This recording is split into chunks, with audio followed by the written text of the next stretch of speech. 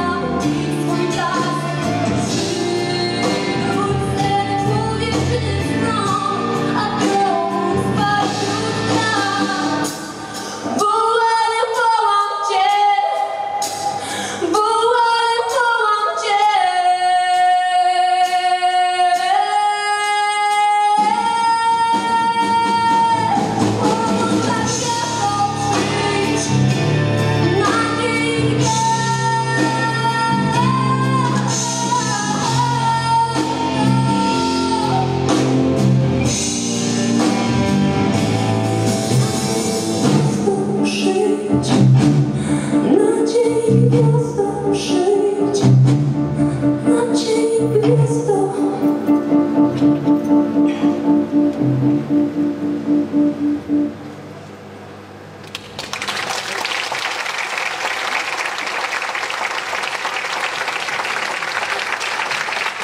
teraz burzliwymi oklaskami nagrodzą wszystkich uczestników konkursu.